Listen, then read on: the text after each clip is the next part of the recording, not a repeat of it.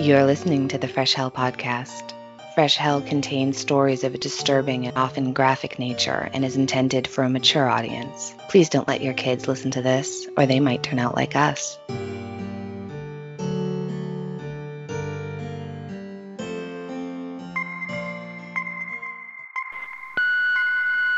Congratulations! You've reached the Amelia Project. A new life awaits. If you're not serious about this, hang up. If you continue, there's no way back. Leave your message after the beep. Enter the offices of the Amelia Project and be ready for surprises, twists, and turns. Follow the Amelia team as they help their clients fake their deaths and come back with new identities. Each episode is different. Each client coming to the death faking agency has a unique story to tell. If death and disappearances, comedy and crime, mystery and magic sounds like your cup of cocoa, The Amelia Project is the podcast for you. Search for The Amelia Project wherever you find your podcasts. And remember, leave your message after the beep. Hi, I'm Annie, back in the US after a lovely trip to Norway and the UK that I'm going to be telling you more about at a later date. And I'm Johanna from Austria, and you're listening to your favorite international podcast. You just heard the promo for the Amelia project, and I know I recommended this podcast already a while ago as my something good. For all of you who still haven't listened to it, please go there after finishing this episode. It's an amazing fiction podcast about a secret agency that helps a very eclectic clientele to disappear and start a new life by faking their own deaths. The story is so good and funny. The voice actors are amazing. And I honestly can't recommend this podcast enough. So please check it out. And if you like it, leave them a rating or even better, a review and tell them we sent you. So that's the first thing. A couple of other things we need to tell you about before we get into today's episode. You know, we usually try to tell you all the stuff at the end unless it's really important and we don't want you to miss it because you've already fallen asleep or because your lunch break is over. We really try to be quick. Uh, first of all, some people kept asking us if there is a way to support our show without joining Patreon, and now there finally is. If you use the Podbean app to listen to us, or if you go to patreon.podbean.com slash Fresh Hell Podcast, you can now become a member and support Fresh Hell. We only insert a very small number of sponsored ads in our episode because we really don't like it when you get interrupted too much when listening. So our supporters on Patreon and on Podbean are the main way of how we are able to create our episodes every week. And we thank you so much for it. Yeah, thank you so much. And while we're at it, we'd love to give a huge shout out to our newest Patreon members, Allison Lowry and Stephanie Bledsoe Caudle. Thank you so much. Thank you. The other really important thing tomorrow, Saturday, 1st of July, starts the slate voting for the People's Choice Podcast Award. That's right. Please go to podcastawards.com and vote for us in the categories of true crime, best female hosted, history, and people's choice. We have won Best Female hosted twice, and last year we won Best History, so we would love mm-hmm. to defend those titles. When you register, please don't forget to check the box. There'll be a box asking you if you would like to be considered to vote for the winners. These are people who are randomly selected, and for those who opt in, they decide the winners once the nominating period is over. So right now, you're voting for us to make it through nominations into final voting. And the people who tick that box, there's a random selection chosen for the final voting. So they actually decide the winners. And uh, we would really appreciate it. It takes a minute or two to do. And that's a really great way to help us without spending a penny or compromising your privacy because they don't share your information with anyone. Yeah. Thank you. I think that's the most important announcements for now. If you want to know more, please, please listen until the end of the episode because now it's time to talk about today's case. In the last weeks, I was listening to the Bad Women podcast by Hallie Rubenhold, who also wrote the somewhat controversial book, The Five, about five of the victims of Jack the Ripper. Uh, one of our Hellions had recommended the podcast and the book. And so I was listening. It's a really interesting podcast, even though I don't agree with all of it, but it definitely gives some food for thought. Uh, so please go check it out as well. And in the podcast, they mention some of the popular suspects at the time. If you followed our recommendations for the Art of Crime podcast of season one, you already know all of these famous suspects like painter Walter Sickert, for example. And so in the Bad Woman podcast, they mentioned that at the time there was a Texan serial killer who was believed to have traveled from Texas to London and continued the killing spree there. Kind of the H.H. H. Holmes theory by Holmes' great great grandson, Jeff Mudgett, I'm sure many of you saw American Ripper, right? So I haven't yet, but it's very interesting to me. And I think it's always interesting when you have people like Mudgett ancestors trying to figure out who else might have been a victim, just like you have people convinced that their family member murdered the Black Dahlia. It's so interesting though, isn't it? To like. Very. Yeah. Yeah. So the Texas serial killer believed to be Jack the Ripper, who was that? I had never heard about it, or so I thought, and I googled it, and it did ring a bell in one of the far, far hidden corners of my brain. Dusty, shadowed old corner. yeah. They were talking about the Austin ex murderer, or also called the servant girl annihilator. That's another name the press had given the killer, and we're gonna talk about uh, that more in the second episode next yeah. week. Why that's kind of a, not such a good name. It's not. And that's the that's definitely how I had originally learned of this case. And just like Jack the Ripper or the Villisca ex murderer or the Axeman of New Orleans, the Austin ex murderer was never caught. And because this is the podcast with all the X's all the time, we thought mm-hmm. this is right up our alley. The biggest source for these two episodes is the book The Servant Girl Murders Austin, Texas 1885 by J.R. Galloway from 2010, it's really such a great resource. The author collected over 100 newspaper clippings in the book, so it was very helpful. Uh, there is also a web page that, go- that goes with it, servantgirlmurders.com, where Mr. Galloway collected as much information about the victims as possible, which was very clearly not easy because the victims were mostly African American servants and there's just not a lot of info out there. J.R. Galloway, who works for the University of Texas Libraries, did what we usually do. He went through all the records and census and whatever he could find to try and keep the victims' memories alive. Mm-hmm. Huge shout out to J.R. Galloway. Thank you for your hard work. Hellions, please go check out the webpage. Alright, now travel with us to Austin, Texas. For those of you who don't really know anything about Austin, like me, here are some basic facts for you. Austin is the capital city of Texas, and like most places on this beautiful planet, it has a rich and vibrant history that spans centuries. There is evidence of Native American tribes inhabiting the region as far back as 9200 BC. The most prominent tribes in the region were, and I'm hopefully pronouncing these correctly, the Tonkawa, the Lipan Apache, and the Comanche. The Tonkawa people were one of the major Native American groups in central Texas. They were hunter gatherers who lived along the rivers and streams, including the Colorado River where Austin is located. They were also extremely skilled horsemen. The Lipan Apache, a branch of the Apache tribe, also resided in the area. They were nomadic hunters and gatherers who roamed across Texas, including the hill country around Austin. The Comanche, one of the most powerful Native American tribes in Texas, had a significant presence in the Austin area. They were fierce warriors and skilled horsemen who controlled a vast territory, including parts of central Texas. The Comanche often clashed with both European settlers who started to arrive in the 1830s and other Native American tribes as they sought to maintain their dominance over the region. It really has nothing to do with this episode, but uh, it's still important for us to note that Native American tribes in Texas, including those around Austin, faced significant displacement, violence, and loss of their lands as European colonization progressed. I mean, it's part of history, right? And that's what we're here for.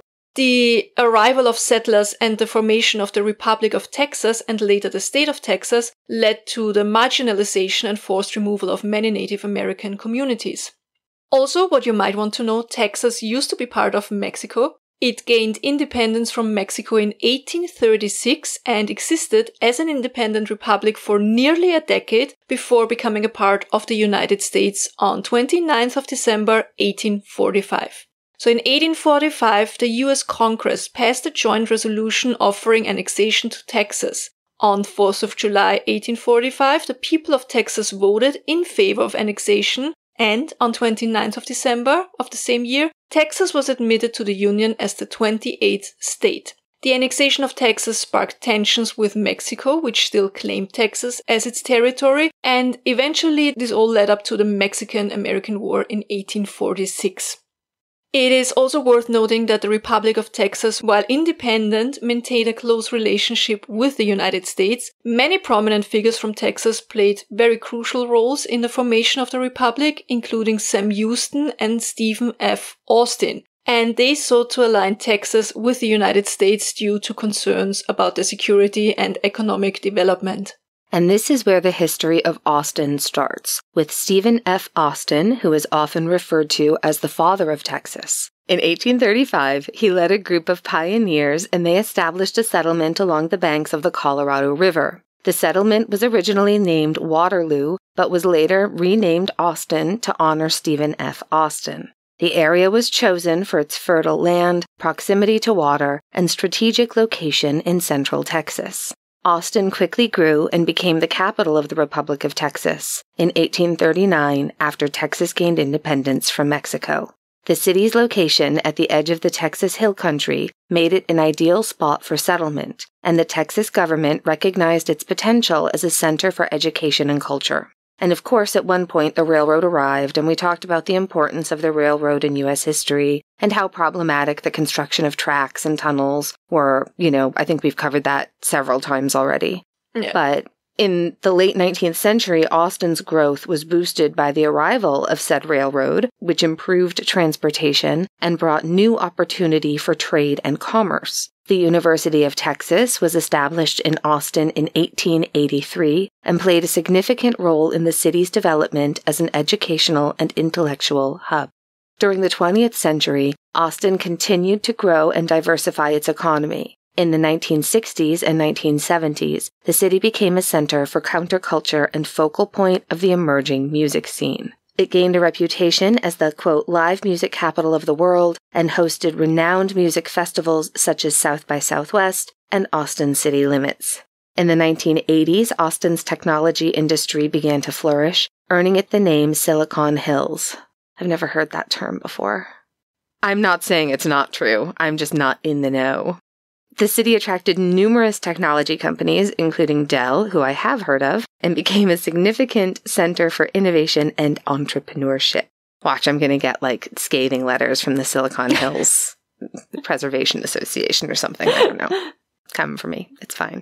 Austin's population continued to surge in the 21st century, fueled by a strong economy, job opportunities, and quality of life. It became one of the fastest growing cities in the United States, with a reputation for its vibrant cultural scene, outdoor activities, and progressive values. Today, Austin is a thriving metropolis with a diverse population, renowned for live music, film festivals, outdoor spaces, and booming technology sector. It retains its status as the capital of Texas and continues to attract people from all over the world who are drawn to its unique blend of history, culture, and modernity. And when we checked for what to see or do in Austin, we found the following.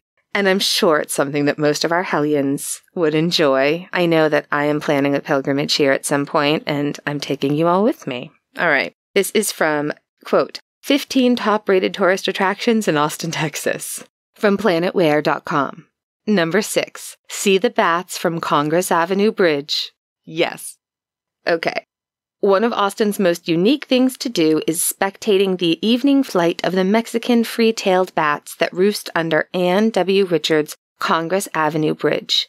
Up to one and a half million of these insect devouring critters take to the sky at dusk each evening from March through November, comprising of the world's largest urban bat colony. The result is a stunning display as they fly from beneath the bridge and up to two miles high in massive formations so they can dine on mosquitoes, moths, grasshoppers, and other flying pests. It can take up to 45 minutes just for the fuzzy mammals to all exit their home.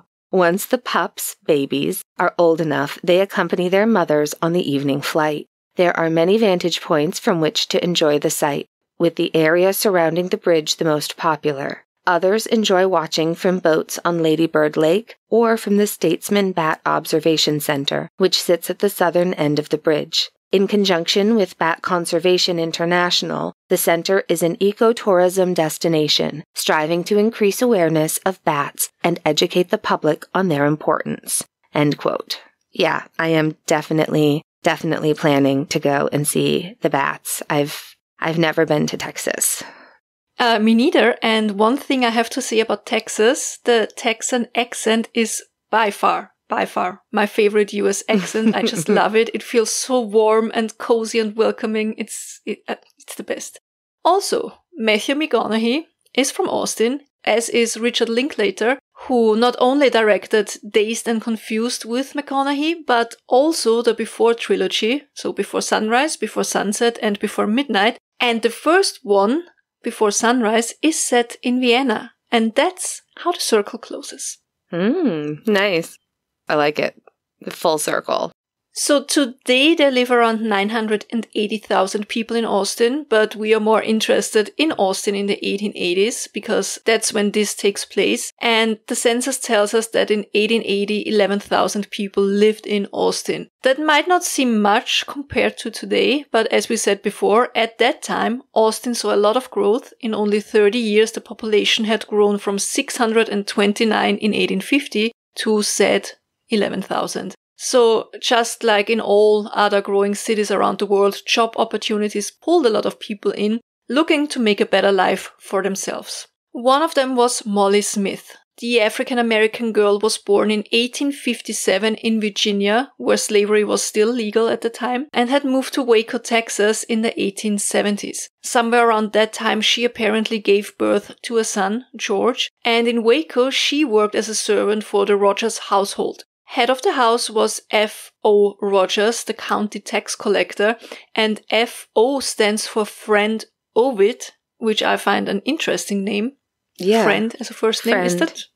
Yeah. It sounds like that's, I feel like that's a name that you see more in certain religious populations. Yeah, I was thinking the same. Mhm. Yeah. Yeah. Could be. According to the census, her son George was living with her at that time, and after a while, Mollie moved to Austin to seek employment and then back again to Waco and so on. And as far as I read, her son George stayed with the Rogers family, giving some people grounds for speculating that maybe George's father was Robert Rogers, the son of F.O. Rogers. He had lived in his family home at the time and he was around the same age as Mollie, but as I said, we don't know for sure and it's just speculation. Yeah. And I mean, it could have been his father. It could have been at that time and place for a young black woman. I Mm. think the best we can hope is that the child was the result of a consensual Mm. encounter and the decision to leave the child was also hers. You know, I think that's probably the best we can hope for without making any kind of judgment on anybody about anything. But this woman has not had an easy life. So she was also reported as being mulatto, which is an outdated term for someone of mixed parentage, generally black and white, African and European. And of course, no matter how light your skin might be, if you were seen as mulatto, you would still be below the class of a white woman. But this is possibly why she was able to move around with more freedom. That was the case when we covered Robert Johnson, his mother and grandmother, because of their fairer skin, you know, had a little bit more opportunity. You'll hear some outdated terms for African American or Black people in this episode. We're going to primarily be using the term African American ourselves due to the time and place, because this is all happening like immediately post abolition. So, Yeah. you know, we're, we're doing our best.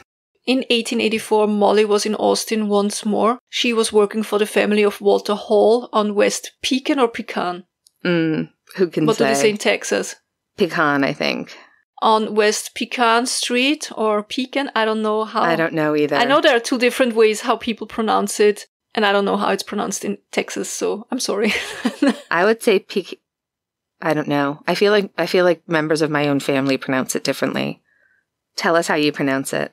Doesn't really matter because nowadays that is called West uh, 6th Street in Austin. They Mm. still have the Pecan or whatever street festival twice a year.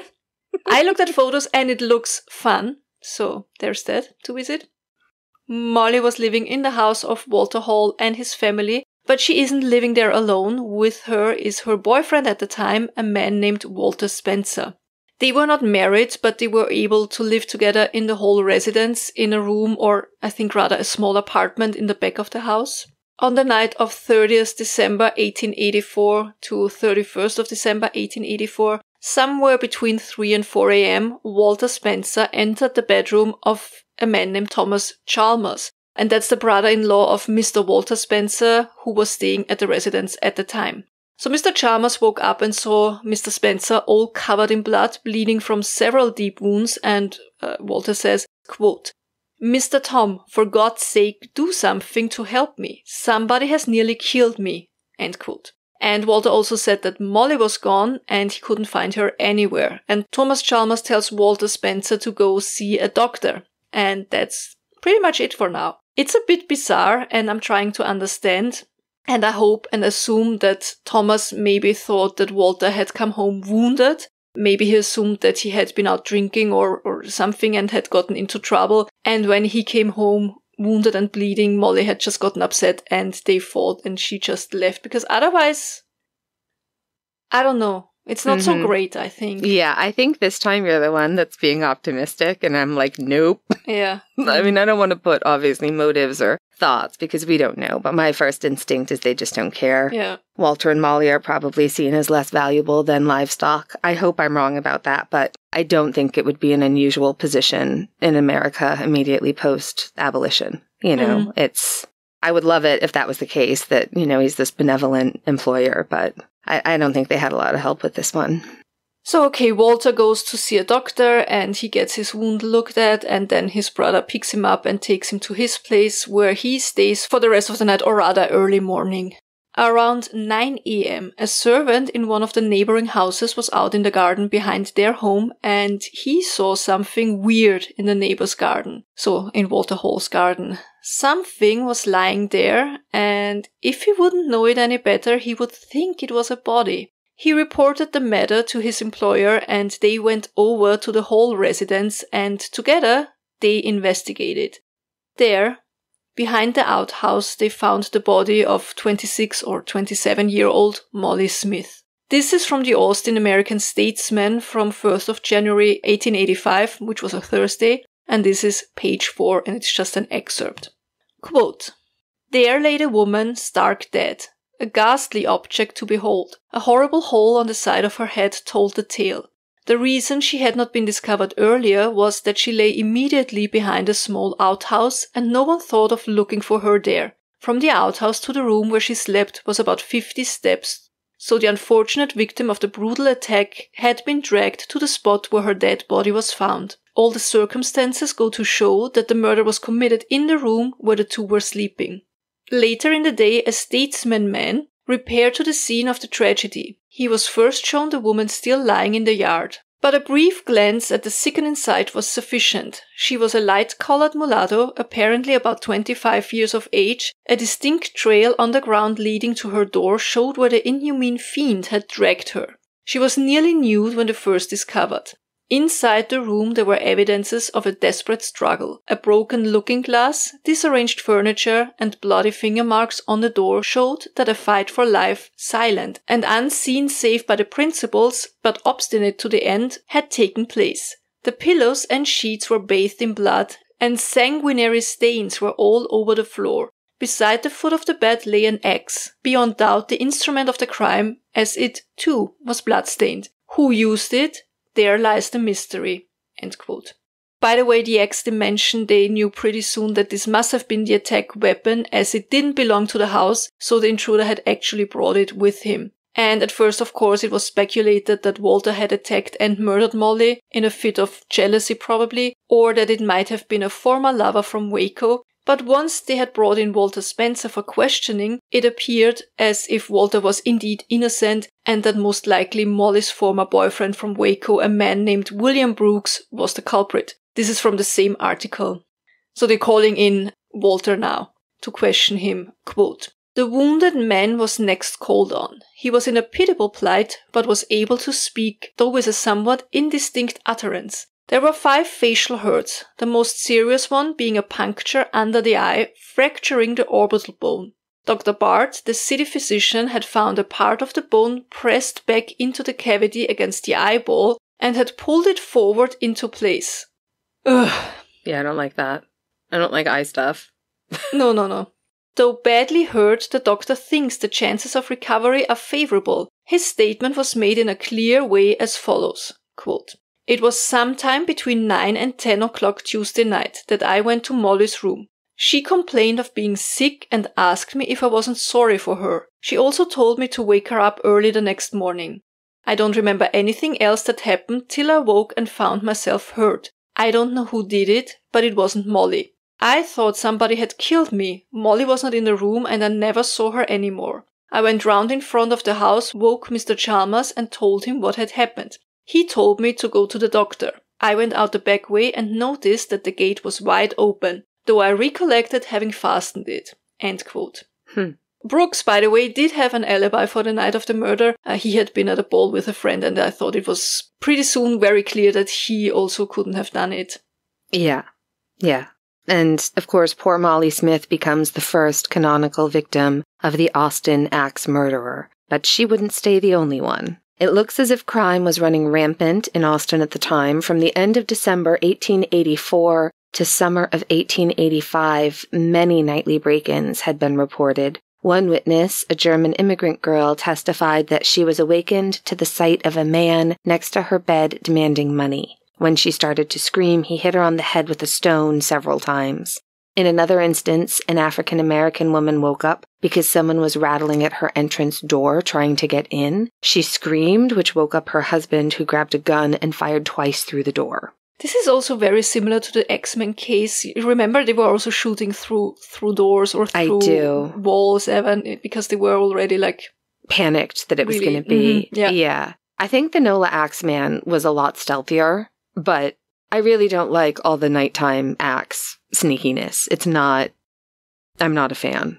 So, of course, the disturbed intruder or intruders took off, but not without throwing rocks at the house. That, I find that part a little odd. Like, Hmm. I don't know why that bothers me, but it does. There were a lot of nightly marauders and violent criminals roaming the streets of Austin in 1885. I really wish we would have crime statistics from back in the day. You know, if if all of a sudden crime was an increase in crime, or if it was like constant but just reported more in the in the newspaper or things like that. I think that would be really interesting. It would be very interesting. Yeah. So, in the book we mentioned as our main source, which is the Servant Girl Murders, you can read a lot of newspaper clippings and reports on the crimes. And even though witnesses mentioned the intruders as being white men just as often as they reported them being black or Asian, there was a lot of racial prejudice and profiling festering in the city, and the newspapers did their best to further pour gasoline on it, right? Because obviously, the more inflamed people are, the more papers you're going to sell. yeah. They called for citizens to take actions on their own to protect their wives, their children, their homes, as the police were clearly incapable of protecting the good people of Austin. So you can imagine the frenzy Yeah. that the people of Austin must be in at this point. On the 19th of March, 1885, two Swedish maids were attacked in the home of their employer, Mr. J. H. Pope. Clara Strand and Christine Martenson were sleeping in their room in a small building next to the main house when they were woken up by someone knocking on their door around 1 a.m. One of the girls, Clara, got up, lit a candle, and went to see what was the matter when all of a sudden someone fired a shot through one of the windows. The bullet injured the girl's neck and she fled from the room screaming in horror. But when she ran out of the room, someone tried to grab her and overpower her. Fortunately, Clara was able to fight her attacker off and her screams for help alarmed other members of the household who came running to her aid. Christine, the other maid, had run to the kitchen where she was hit in the back by another shot fired through the window. She was injured midway between the shoulder blade and the spine, which could have ended very badly, but almost miraculously at this time period, right? She was able to recover from that injury. The attacker or attackers were able to escape, but it's believed that Clara and Christine were also two victims of the Austin axe murderer, who now I'm like the axe, axe and gun murderer, the Mm. murderer to get you in the night with whatever means available. That's the scariest and seems maybe the truest, right? There's just someone in the night fucking coming for you, and you don't know when or how. No thanks. In May of 1885, the Austin axe murderer claimed his second murder victim, and her name was Eliza Shelly. She was once again an African American maid in the home of the Johnson family on Cypress Street. Just like Mollie Smith, Eliza had been born in 1857 somewhere in Texas. We're not sure if she has a birth certificate or not. It wasn't uncommon for black people and black children not to be issued birth certificates. I mean, that's something that kind of goes through even today. Like there are people around today whose grandparents don't have birth certificates, which creates all kinds of trouble.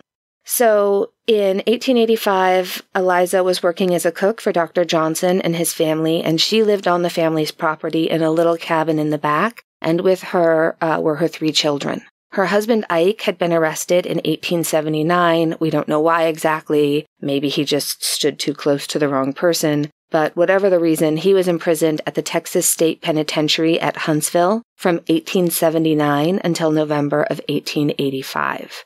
Eliza had been working for the Johnsons for quite a while. She was reliable, hardworking as a cook, but also just a really good, kind, decent person, clearly devoted to her husband and to her children. She was reported to be an excellent mother. On the morning of May 7th, 1885, Mrs. Johnson heard screams coming from Eliza's cabin in the back, and she sent her young niece to go check on, see what was going on. The girl returns moments later and she's obviously traumatized. She's white as a ghost, definitely in shock. And she's telling her aunt that something horrible must have happened to Eliza. They go and they find Eliza's body in her room on the floor. There was a hatchet wound over her right eye that was described as being two by two inches, which would be five by five centimeters. The murder weapon had penetrated the skull and injured the brain. Her body showed other non fatal wounds that might have been caused by another weapon. She also had two deep, round wounds over her ear and another one between her eyes. The room was in total chaos. A lot of Eliza's belongings were scattered all over the floor. There was blood everywhere. The pillows and sheets were soaked in blood, which indicated that Eliza was actually killed in her bed and then dragged onto the floor. According to the examination, her death would have been almost instantaneous. Or, if there was that much blood, at least she was unconscious instantaneous. I think this is just one of those moments where we can just hope that she was asleep and then unconscious and never, Mm. never had any inkling that anything had happened. Unlike the first murder, there was no murder weapon found in the cabin, no hatchet, nothing. The only thing that they could find were some foot imprints, one set of bare feet that were outside leading up to the cabin, and then away from it again. The feet were rather short but wide, like mine, and they didn't match Eliza or her children. So it's safe to assume that these were the imprints of the attacker. Now, this is the really, really heartbreaking part of this story. So, as we said before, Eliza had three boys who lived with her in this little cabin. The oldest one was eight, and he was questioned as a witness. And he said that a man had entered the room, and he wasn't sure if the man was white or black because the man had covered his face with a white rag, but he thought he looked like a white man. He asked the boy where their mother kept her savings, and when the boy said he didn't know, the man told him to cover his head with the blanket and not to look, and that if he looked, he would kill him. So the boy did as he was told, and he didn't hear or see anything else. He said soon after he fell asleep again and only saw what had happened to his mother the next morning. So that's So sad. I just got goosebumps. I mean, It's awful. Awful, awful. So the next day, an arrest was made because obviously we have to make an arrest. We can't just have someone running around and terrorizing people, right? Especially with the new newspapers encouraging vigilante justice. Yeah. So the next day, they make an arrest, and a 19 year old African American boy named Andrew Williams, who was believed to be the attacker, was arrested. And he was arrested because he was barefoot at the time. That's it. At least that was what was named as the main thing incriminating him, according to the press. As if there were not many, many, many barefooted people of all shapes and sizes and colors at the time walking around in the Austin area in May. Definitely. Right. Speaking of newspapers, they really did their best to fan the flames, reporting daily about all of the attacks and murders and speculating about who was the culprit. Andrew Williams, though, turned out to be not the murderer. He was just barefoot and he was let go. And of course, over the course of the attacks and murders, over 400 people would be arrested in Austin. And we're not going to get into every single one. Just know that the police were really hoping to be able to solve this case because the citizens of Austin were getting more and more critical of their law enforcement. They were not Mhm. happy. No. On 22nd of May 1885, a third murder linked to the killer took place. Again, the victim was an African American woman. Her name was Irene Cross. Irene was born in 1847 in Mississippi and had moved to Austin with her husband Haywood Cross. The couple had one son, Washington. Unfortunately, Hayward died sometime in the 1870s, and so now Irene was a widow and had to take care of her son. Later, her nephew Douglas Brown would also move in with her, and she would take care of that boy. In 1885, Irene, George, who was already a grown up at the time, and Douglas, who was most likely 12 or 13, they were living in a small cabin on East Linden Street. Irene and George occupied one room and Douglas slept in another room adjacent to Irene's room. If I understand correctly, you had to go through Douglas' bedroom to get to Irene's bedroom. On the night of the murder, Washington was not home. He usually came home very late at night. Uh, I assume he was working late, so the door between their bedrooms would be unlocked because Washington obviously didn't want to wake anybody up when he would come home. The murderer had entered Douglas' room and proceeded to the other room where Irene was sleeping. And I'm sure at first they thought it was just Washington coming home, but soon they were fully awake realizing that there was an intruder in their house. Irene and Douglas started screaming and the attacker ran over to Irene telling her to be quiet and attacking her with a knife or possibly even a razor blade. It's so scary. Mm-hmm. He inflicted a deep wound on Irene's arm, severing her artery. The cut was almost 15 centimeters or 6 inches long and so deep that it almost cut her arm in two. Uh, there was also another deep cut across most of her head, stopping just above her right eye. It was described as looking, quote, as if the intention had been to scalp her, end quote. Douglas, being the only witness, was questioned about what he had seen that night and if he could describe the attacker. He said that the attacker was a big African American man. He was barefoot and had the legs of his pants rolled up. He was wearing a brown hat and a coat. The only thing that the murderer had said to Douglas was that he should stop screaming because he doesn't want to hurt him. Also, I think it's important to note that, how do I say that? I think Irene died hours after the attack, so not, not immediately. I think a doctor was Mm. brought in as soon as all this happened and people heard screaming. The attacker fled. They brought a doctor, but there was just nothing to save her. Yeah, she died around 6 a.m. in the morning. Yeah, because even when we covered, because this is, we're talking late 1800s here, and even when we did the shark attacks in 1916, right, they didn't have the knowledge then to repair No. severed arteries. You know, there's just, there was no blood, there was just nothing. It's also interesting that whoever this killer is, they clearly don't have the, the desire isn't just to kill, is it? It's a very specific, the violence is against women. Mm-hmm. The violence is not against children. Not just though. We talk about it more next week, but Yeah, we do. I don't know. Don't you have a feeling that maybe it was different murderers? Like, Yeah, it doesn't all sound like the same person.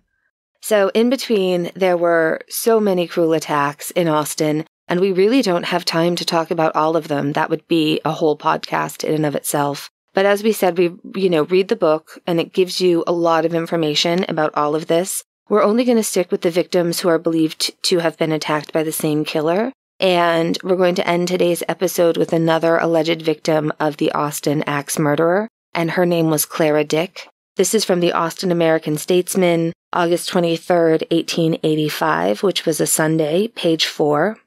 Quote, An inhuman husband attempts to kidnap his child and murder his wife and mother in law. Full particulars of the fearful tragedy. Some time between the hour of one and daylight yesterday morning, the neighborhood of North Avenue East was aroused by repeated screams and moans coming from the home of Mr. E. J. Christmas, who lives at 203 North Avenue East in a small one story frame house surrounded by a yard in front and the rear by houses on the east and west side occupied by colored people. The neighbors ran to the house to investigate the cause of the disturbance. They were completely horrified to find, upon entering the house, Mrs. Clara Dick lying upon the bed, with her skull crushed in, just above the left eye by a blow from some instrument, blood flowing from her wounds, and she in a state of unconsciousness, while her mother, Mrs. Rebecca Christmas, was bleeding profusely from a wound on the right arm. The young baby of Mrs. Dick was screaming with pain, and a scene of unutterable horror and confusion reigned supreme. It was learned that Charles Dick, the husband of Mrs. Clara Dick, had visited the house a few moments before, and reaching through the window in his wife's room, had made an attempt to kidnap the baby. Failing in which, he struck his poor wife on the forehead with a hatchet, crushing her skull, bruised up her mother, who ran to the assistance of her daughter, and then fled. Upon investigation, it was found that Mrs. Dick was sleeping near the window in the west room at the time of the accident. Accident? Okay. this window is just two and a half feet from the ground, and the inhuman brute had stood on the ground and accomplished his hellish work. End quote. It's not the finest reporting we've read, but you get the gist. So, witnesses to the attack were not only Clara, but also her parents, Rebecca and E.J. Christmas. They all testified that Charles Dick, Clara's estranged husband, was the attacker, that they had separated a couple of months earlier after Charles being physically abusive towards his wife. He had then moved to Waco. After the attack, Clara took a while to recover physically as well as emotionally, but we're glad to tell you that the baby was physically fine except for some minor injuries. I can't believe Clara recovered, actually. Yeah. It's kind of a miracle. Charles was arrested and charged with attempted murder. He was granted a bail of $500, which would be like $15,500 in today's money. And he stood trial in the fall of 1885. He could, however, prove to the jury that he had an alibi. He had witnesses testify that he had been in Waco on the night of the attacks, and so Charles Dick was let go. Clara's attack was now another unsolved crime in Austin, Texas. And next week, we're going to tell you all about the rest of the victims and some of the theories about who did it. See, that's one of the reasons. I mean, there are three witnesses saying that this attacker was Charles Dick, the husband, right? Yeah. And yes, okay, he had witnesses who testified he was in Waco, but I think one was his brother. Okay. I mean, I know. so I- I'm, I'm still Not sure. also why the Swedish maids were counted as victims of the of the same killer when a gun was used. Yep. It's so well. We're gonna talk more about it next week. There's a lot to unpack here, Yeah, yeah. for sure. Also, it's not like the police are going to want to be like, you know what? Actually, these are all, there isn't one person out there. These are all different people. Exactly. And of course, you're going to have plenty of, you know, and we're, again, we're going to talk about this more next week, but you're going to have people copycatting to, Yeah. to do away with people. So, And I mean, the, the descriptions vary so much in the incidents. He was a black man, no, he was a white man, he was an Asian man. It was Yeah. two attackers. No, there were several, and I was shot. Yeah. I was stabbed. I was axed. Yeah. I was, you Yeah. know, a, stone. They Yeah. hit me with a stone he on hit me head. with a yeah. rock. They asked for money. They didn't. Uh, It was- yeah. Yeah. What's your something good? My something good is that my husband is home for vacation right now. Yay. Yeah. Let's wrap That's this really up good. so you can get back to What's your something good? I mean, I Uh, know what's your something My good. trip, my tr- I have oh my goodness, I have so much to tell all of you and we're not going to talk about it really today. I'm just going to say that it went really better than I could have hoped. It was everything went so well. My dad had a great time. It just was so nice to see everybody. I think everybody really had a had a nice time. Did you like Norway? I cannot wait. We all want to go back to Norway. Mhm. I can't even I'm I am literally now pining for the fjords. I am I've done it and now I'm pining and shall be forever pining. It is it is I was a little afraid going into it again, like I said when we went to the Hotel Del, like you see these pictures and you see these images and you just think, well, we'll see. But no, it's like it's just one of the most beautiful things I've ever seen in my life. It was amazing. And the sun never set, which was weird. Mm. So I was up every night till like 2 a.m. I'm so tired right now. I'm like, now that my body's like relaxing. I'm so glad you had a great time. I knew Yeah. you were gonna. Yeah. Yeah. All right. All right. If you enjoyed this episode or any of our other episodes, please do us the huge favor. Go to your podcast app and check if you can leave us a rating and or review. They mean so much to us. They make our day and also they are very important so that other people can decide if they want to listen to us or Yeah. not. Also, please don't forget starting from tomorrow, 1st of July, go to podcastawards.com, register, check the box that you want to be considered as a final voter, and vote for us in Best Female Hosted, True Crime, History, and People's Choice. Please and thank you. If you are looking for ways to contact us, uh, go to our webpage. You find our PO box there and our email address, which is freshhellpodcast at gmail at gmail.com. You also find a link to our merch store, which is a new merch store. Go check it out. We had we have some fun new stuff there. I'm very excited to go check it out because that went live when I was away. So I'm going to go shopping now. Yeah, I need all new merch. You find a link to Patreon. Uh, you can support us there. We don't have a link yet for our Podbean Patron program. That's just completely new. You can find it on the Podbean app or on the webpage if you find us there. Uh, what else? We have a Discord server. We're also gonna put that link up soon. I'm trying to, you know, have a second place where we can communicate in case Facebook will ever shut us down because sometimes they don't like that I posted a photo of Pablo Escobar 50,000 years ago. Yeah, Facebook has a lot of interesting ideas about promoting violence. I think that's it. Please tell your pets we said hi, hug them, cuddle them, uh, give them enough water, keep them inside, keep them cool. Don't leave them in the car if you're somewhere where it's hot at the moment. Very, very dangerous. Take them to the vet if something is wrong. They are the best pets. You're everything they have. Take good care and please send us photos because we always want to see your pets. That's right. And as it's getting warm, remember if you do have a pet that's overheating, don't splash freezing cold water on them because that will put them into shock. You want to just put room temperature wet towels, to cool, which will cool them down, wrap around their paws, but no freezing cold water. Yeah, also don't put them over over the, the dogs, for example. Put the, the wet towels under them or as Yeah. Annie said, on Yeah, their paws on their because they can overheat like that. Yeah. Exactly. Yeah. Be kind to your fellow human being if you think it's a dangerous situation. Of course, don't be kind. Listen to your instinct. You know what Oh, I'm yeah. saying? Yeah. But like, give regular people the benefit of the doubt. If you think someone's going to murder you, fuck that person. But like, in your day to day, just assume everyone's having a shittier day than you and try to make it better. Be kind to yourself because that's the hardest part of it all. It really and is. that's it. It really is. Do you know what happened actually about that? Speaking of hmm. which, do you remember I do you remember I told you how my therapist wanted me to write ask people to write things down and I didn't want to do it and you left that in that episode when my cousin heard that. And so when I got home, I got a card saying how much everybody loves me and I got a jar and in it I haven't opened it yet. I can't even think about opening it without crying. But every single one of my family who came on the cruise wrote me a note about why they love me because of my cousin Amy. She's the best. So, yeah, Oh God.